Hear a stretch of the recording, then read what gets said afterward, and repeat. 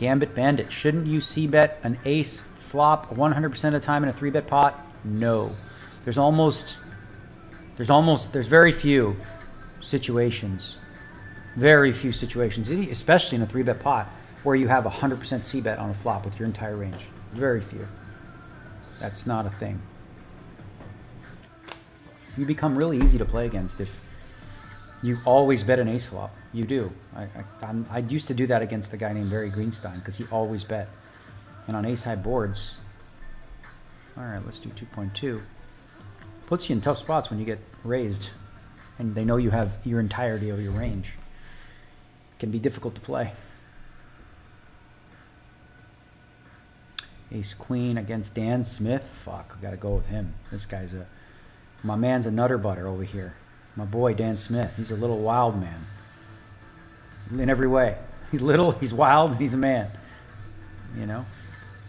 All right, let's see now. Let's see. We're gonna check this one.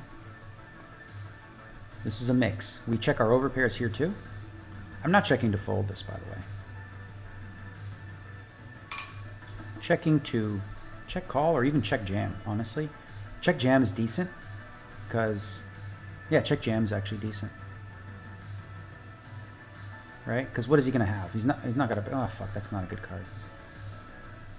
Not an ideal card.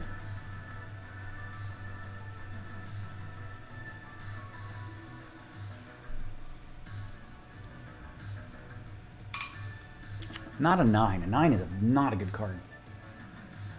I was ready to get it in on the flop against a small bet.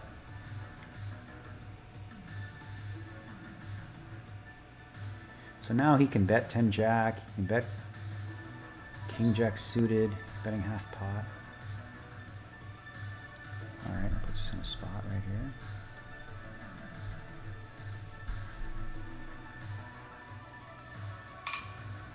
All options available. Let me see.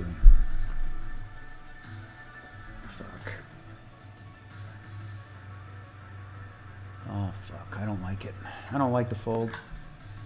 I don't love that play. I don't hate it. Not sure if that ace queen. I was thinking because you know why you can check raise the ace queen on that flop on eight four deuce.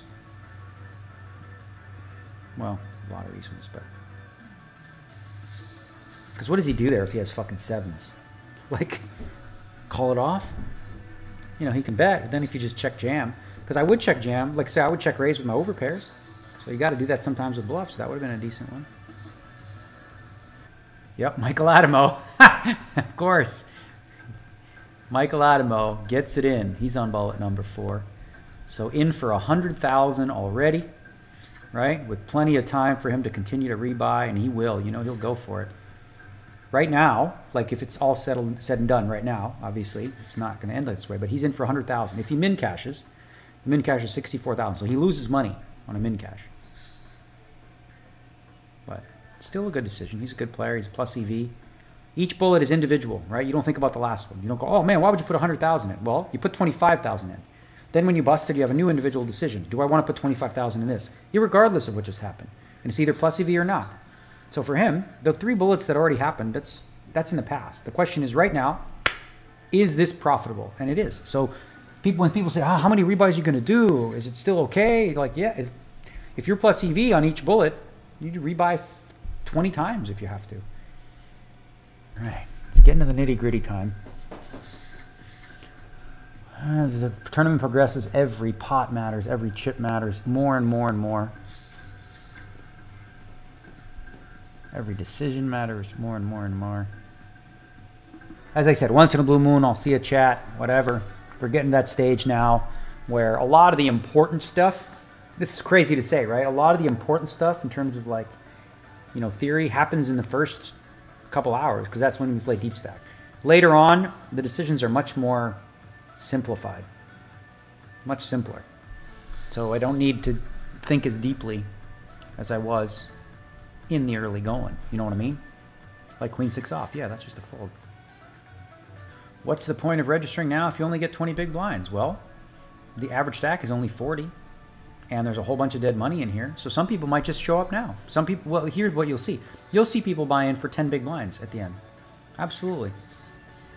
Got 20 bigs. All right, Jack 5 of hearts. I'm to actually 3-bet this one. I know it sounds crazy, but we're to do it.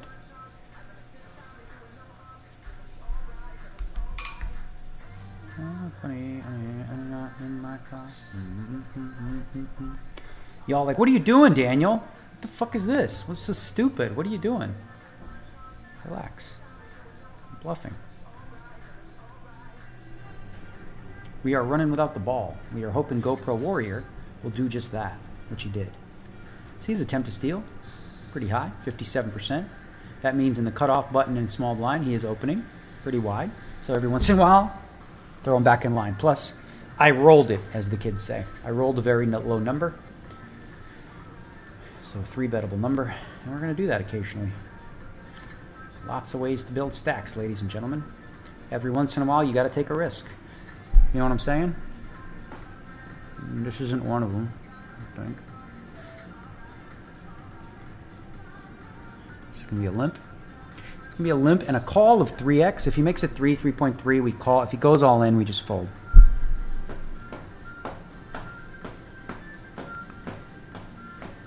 Understood?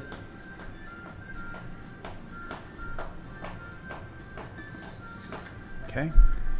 There's a 7. Let's see.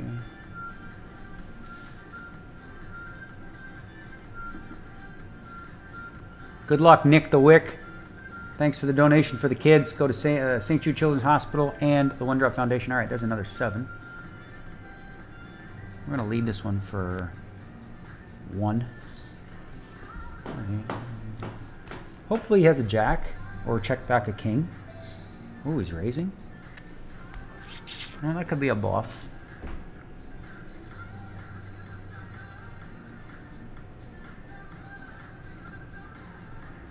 There's no point in re-raising. We're just going to take our time here.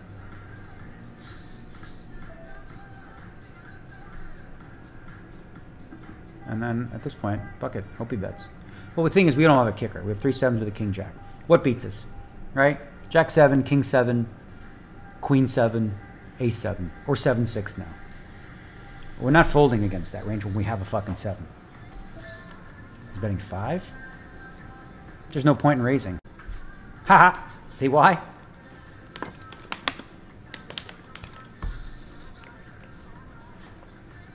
No point in raising. Four high was not going to call. He's going to call me. The only thing he bets there, he's not betting a king, he's not betting a jack. So he's either betting a seven himself, a full house, or bluff. So in those spots, very important concept. Hey, you only had 10 chips more. What's the difference? Doesn't matter. Folding this one. Understand? It doesn't matter what he had left, right? Think about if you if you raise here, what is his range that, that calls? You think he bets a jack? No. Why would he do that after I call a turn? He's just going to check back, showdown value. King? He would never never bet a king there. Well, he might. No, he wouldn't bet a king either. Not going to play it like that when I could have a seven. So all of his bullshit misses, right? Or maybe sometimes better hand than me. So I check raise all in. He calls with it with the same hand, right? So we split or he calls when he beats me. That's not a that's not a value raise. That's called a value cut, or you cut your own your, your value betting the, the like in a spot where your opponent ties you or beats you. Not good poker. Trust on that one. So I'm happy with 60 bigs now. Yeah, yeah. Do you guys understand that concept, right? Right. You got to think about okay, if I raise, okay, what is my opponent going to call with? Right? And if what your opponent is going to call with is at least as good as what you have or better, then it's not a raise because the bluffs don't call ever. So you're not getting value against that. And that was a perfect example of a spot where that makes sense when I had the three sevens. He just took the absolute bottom of his range and decided to bluff at me. Did Minfish. A6 of clubs from early. I'm gonna go ahead and min raise now because of Minfish's stack. I would actually fold this. Oh no, oh no, Jesus, six big blinds more. Fuck. Six to win, 10, 11, 12. Yeah, we're getting two to one. Fuck. Six to win, 10. Oh, yeah, have to call. Damn. All right. What do you got? King, queen, maybe. King, king. All right, we got an ace. Okay. Ace from space. There's the ace from space. Ace from space. Now let's have a spade or a heart. It's a club. Don't be a king. Don't be a king. Whew. Baby doll. We got lucky. Cannot fold there, ladies and gentlemen. Getting that price, we risk uh, six chips to win like 12. Your two to one dog, a6 suited is fine against kings there. We also have to assume that he's doing that with king queen suited and stuff like that. All right. Very nice. Listen, I'll take it. A little bit of luck coming our way. You think I'm going to be upset about that? Oh, no. We, you know, poor guy got unlucky, but what do you want from us? I mean, we opened with a6 suited for two. He went all in for eight, right? So now there's 2, 10, 11, 12, 13 out there. We got to call six more. So you're getting over 2 to 1, which means in practice you need to win with about 33% of the time with a6 suited. Does a6 suited win 33% of the time against the range that he jams with? Yeah, it certainly does, especially if you factor in any king queen suiteds or like small pocket pairs. 2.3 from Dan Smith. All right, let's see what we're doing here. Okay, I'll call you, buddy. I'll call you, buddy. We'll go to break together. I got middle pin. What you got? What you got? So this is going to be a check call spot. Let's see. Yep, just a check call. We don't really check raise this specific hand. If there was one diamond on board and we had like a three, let's say like queen three of diamonds, that might be a hand we check raise sometimes, not often. Just don't check raise often on king six three period. All right, let's see now. Okay, 78. I'm going to check this one more time. We're checking to check call. Right? Yeah. He could certainly be trappy here, right? With a king. He could have jacks, tens, nines, just ace high, but eh. Bet more. We're, we're not folding anyway. Kings and sixes with a queen. Now the question is, do we value bet or check it back?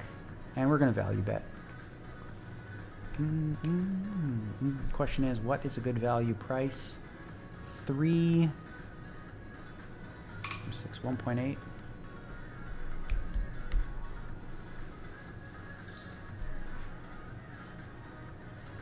I have to call a raise here too, which is brutal. Yeah, do we? Hold on, let me think.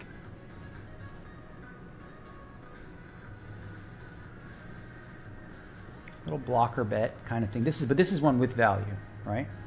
we do have value because we do get called by some hands worse, right?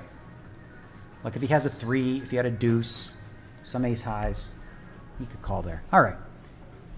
Okay, this is going to be a 2.2 and fold to a three bet. And really risky because Addamo is, you know, aggressive, to say the least. Then we also had anti-ninja jam fucking 60 bigs earlier. All right, go for it, Michael. You win. I already feel I feel it coming, you know? Can you feel it? You feel Addamo jamming? I do. He's gonna do it. Fuck, I told you. I fucking I can't go with ace three. It's just a bad hand. It's just an open and then a fold. Yeah. Okay. Fucking felt that one. Michael is trying to get some chips, man. Whoo, hot sucker. He's in for a hundred, right? Nah, he's not that. He's just playing his game. Okay, so we open there with the ace three. Just because you have somebody in the blinds that's going to be overly aggressive doesn't mean that you just don't open when you're supposed to, right? If we open correctly, he jams correctly, we call off correctly, we're okay. Ace three off is not correct to call that many bigs. Again, because he could have any two cards and you're not in front. If he has an ace, probably has better. Only ace deuce you beat. If he's got a pocket pair, you know, you're dead to two outs. And then again, if he has like jack 10 suited, jack 9 suited, you're literally flipping a coin. So there's not a lot of value in calling there with ace 3 off.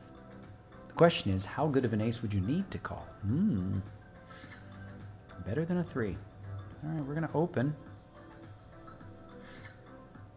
2.2 once again. Unless Alex jams and we fold. Ah, all right, we can fold. Right, just gonna limp here with the 9-6 suited. Call small raise, not a jam. Why am I looking at this hand right now? All right, that's interesting. I'm gonna check this one. We got a flush draw, so we got something, something.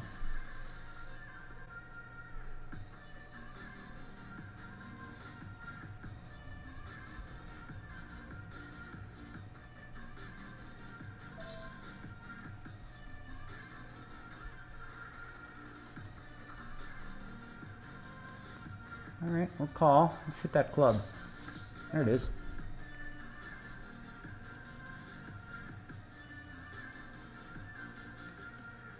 We're not going to win much money on this pot. I don't see how we're going to get a lot of chips in. Unless he has a three. I mean, hopefully he doesn't have ace three or king three. Or if he's made a flush too.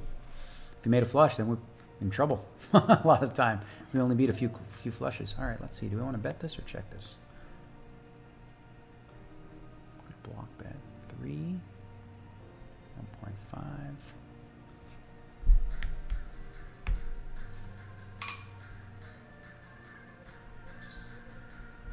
Small bet. If he raises, we can call. He has a king, right? Yeah, sweet. Okay. We were targeting specifically like a king. So for a small bet, he can call with a king because we could have a king. Uh, too big, and we lose him. If we went too big there, we would have lost him. So what happened here? Button bet, big blind call, middle position call, check, check. Another 21, call, check, check. What? Oh, the queen paired. Jeez, no wonder. All right, couple of fives against an under the gun raise.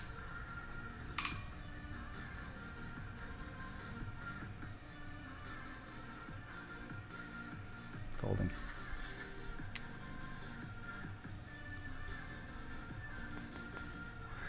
Too juicy of a spot for a guy like Addamo with the fives, right? For him, and 19 bigs.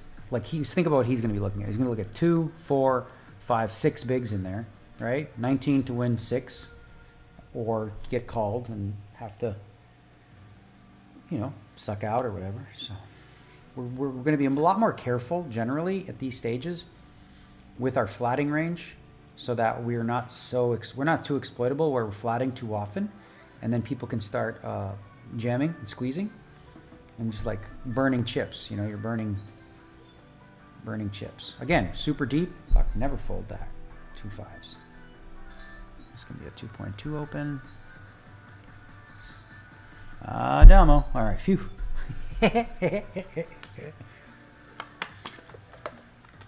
hmm. Good result with ace three suited, right? Never gonna complain when you win the pot that's there with an ace and a three. Never. You're not like, oh man. Seven deuce, that can fold. Aces, we're gonna 2.2 with this one. Under the gun.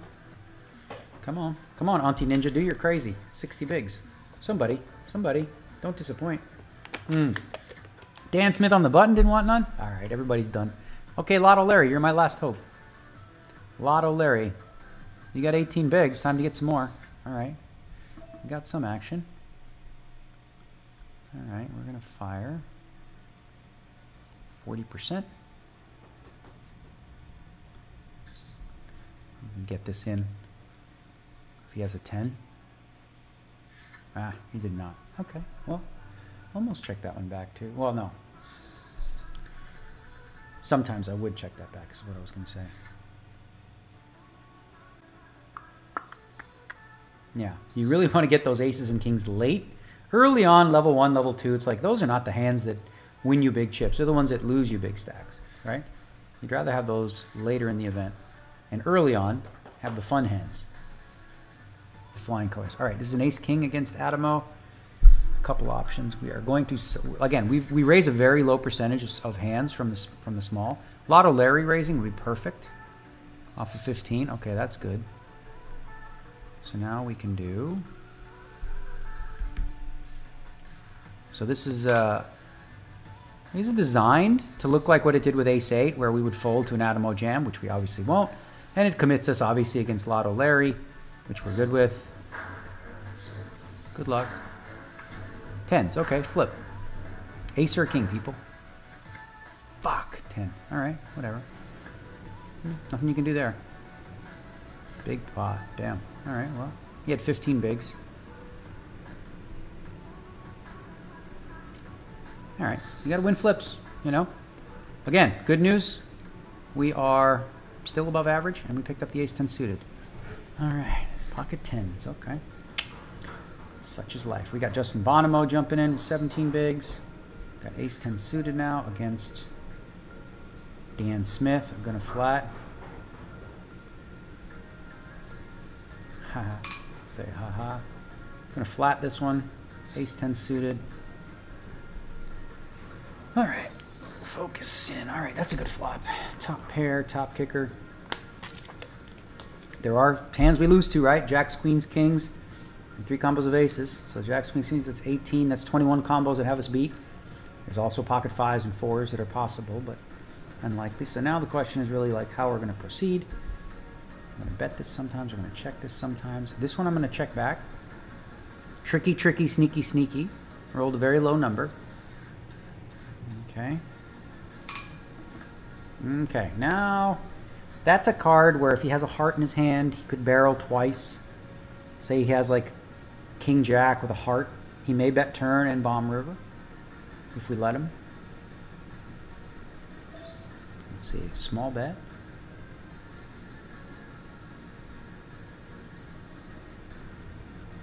Okay, I'm gonna call this small bet.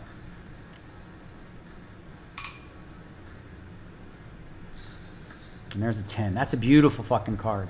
Because he's not going to give me credit for a lot of 10s to check back here. Right? There's less 10s now available because there's two of them out there. So he's only going to think I'm going to play like suited 10s. And I check back flop, which eliminates a whole bunch. Now, I still don't beat a flush, so I can't exactly go bonkers, but he will bluff here more than you you'd like. Uh, uh, he's he's going to try to bluff that. Oh, he's betting small. Hmm. Mm-hmm, mm-hmm, mm-hmm.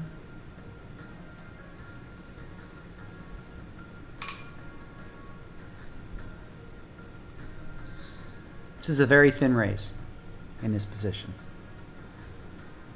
Very thin. But he's betting small. All right, we take it. What was that bet? Was that a blocker? Was that... Huh, that's interesting.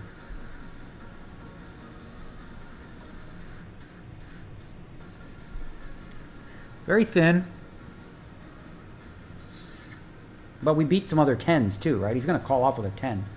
Now we got King Jack suited. Going to flat this one too.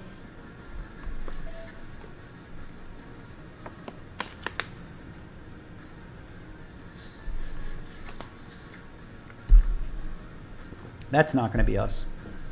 Probably not going to win this one. But there's always a way.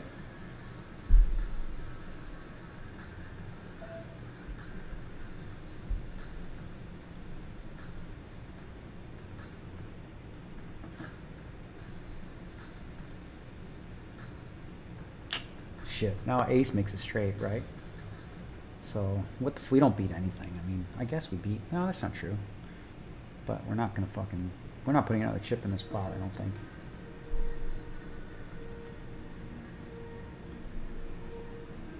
We might actually get to check turn and then bluff river.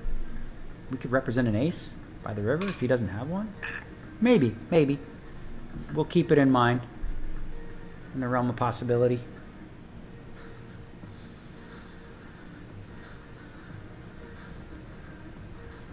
We will keep it in mind if he checks this river. He might get us for half pot.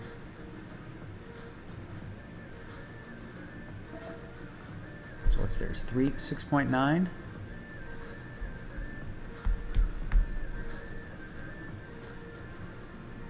Yeah, we have to bluff this one time. All right, buddy. If you got it, you got it. I mean, it's a credible line with an ace. Yeah, sweet. We might have the best hand here, by the way. We might have had the best hand. He could have had worse. He could have king queen though. Yeah, I don't know. Might not have even needed to bet that. We might have just had the fucking best hand a lot. Showdown value. Like if he has queen jack suited, jack ten suited, he's always calling with an ace, right? We assume that. If you have an ace, you win. What the fuck does he have then? Like an overpair? Do we, do we bluff out? Like sevens, eights, nines? I don't think so. I don't know what the fuck was going on there. I think we had the best hand. He might have nine, ten fucking spades or something. Nine, ten of spades or something. So we are sitting pretty, y'all. I know it doesn't seem like it because you only have 66 bigs, but again, we're at that stage of the tournament on bullet number one. Average is 44. We are the chip. We have the most chips at the table right now. It's going to be a 2.2 open and a fold to a jam.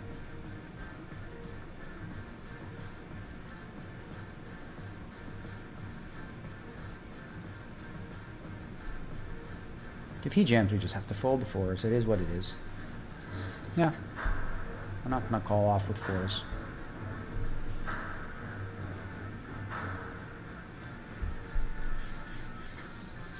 What was the flop? Four? No. King, Queen, A. No sweat. Insta-fold. Have bubble protection in, in the big 25K. Force people to show up on time. But most people do. I mean, a lot, a big percentage of people show up on time, so. Jack 10 suited. Folding to a jam here from Bonomo, unfortunately. 17 bigs. We cannot call off 16 to win uh, 21. Not quite enough with the guaranteed worst hand, the jack high. And he would do this with some... Mm. I, you know when you feel it? Feel it in here? Felt it. I can feel it sometimes. 15 to win. Yeah, too much. Okay, guys. We're, you know, again, he might have had a hand, but he could be just pushing the envelope, and that's okay. We got two guys here that are well known, Bonomo and Addamo, well known to put in significant number of rebuys in these things. I'm not going to defend this king three. That's this one is tough to play against and under the gun range, so we will let him take it with the king three. Not, not a drop of rain. Ace queen. All right, not a drop. It's still nice out. They did say Sunday night, so this is Sunday afternoon. Storm should hit tonight.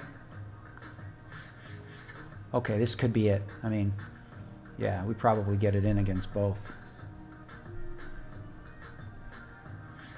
Yeah, we got to get in against Bonomo for sure if he raises or jams or whatever he fucking does. If he opens, we raise. We just stick it in. If he limps, we raise, call off. All right, so we do. Boom, boom, boom. We call off. If he's limp raising, which he should, he's going to do that with like ace nine suited and shit like that. We happily just fucking snap call. Okay, there's a top pair.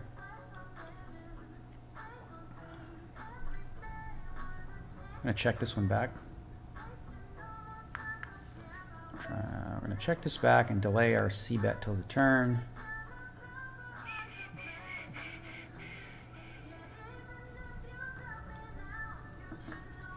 All right, well, we're not folding. I mean, it's not an ideal card. We don't have a heart in our hand. But, like, we just beat way too much shit, especially when we check back flop. If he happens to have two hearts, good luck to him. He's going to win fucking 19 big blinds. Might actually raise. Let's see. No, I'm going to flat. And then call off on river. All right, that's a good card. Unless he has a five. So if he bets, we just call. If he checks, we will value bet.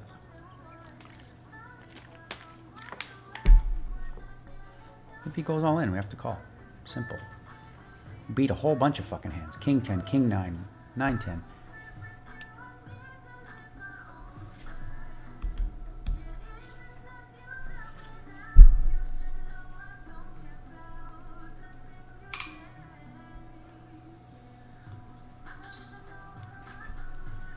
Pot. Give him a price to call with a jack. And if he check raises, I still fucking pay this off, I think. Hold on. Gotta think. If he check raises, could he ever be fucking... Yeah. I have too good of a hand. And I don't have a heart, which in this case is kind of good. Well, kind of good, kind of bad. He's thinking. He has a jack. Giving him 3 to 1.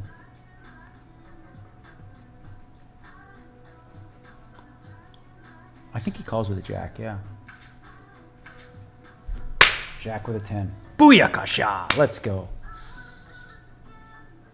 Sweet. That worked out pretty fucking good. We check back that flop, see?